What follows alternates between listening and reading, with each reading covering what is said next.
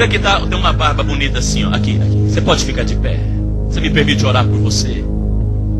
Deus falou para mim, tá um pastor ali.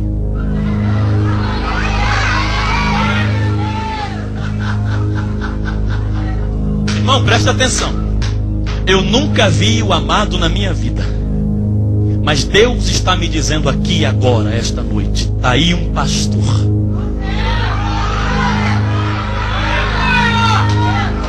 Preste atenção. Existe vidas de joelho por você. Gente que está clamando a Deus para que você tenha um encontro forte com Ele. E esse encontro é aqui, essa noite. Deus revela aqui esta noite o teu chamado. O propósito que Ele tem para a tua vida, que é muito grande. De usar você. Você não veio aqui acaso esta noite, nem veio trazer ninguém.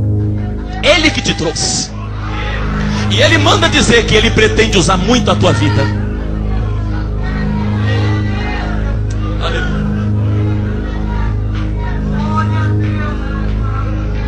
Milagre na casa da Arlete. Quem é?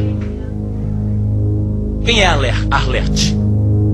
Milagre na casa da Arlete. Para você saber que é você, você não é dessa igreja, ele está falando. Quem é? Quem é? A irmã é dessa igreja aqui? Não. Muito bem, Jesus. O senhor nunca erra. Vem à frente, por gentileza. Que ele está dizendo assim: tem milagre na casa da Arlete esta noite. tem milagre na casa dela. Ai,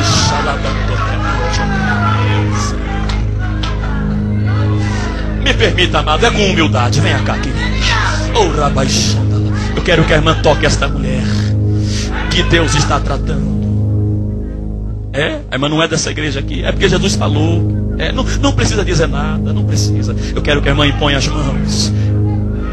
Está escrito no livro de Marcos: e porão as mãos sobre os enfermos, e eles serão curados.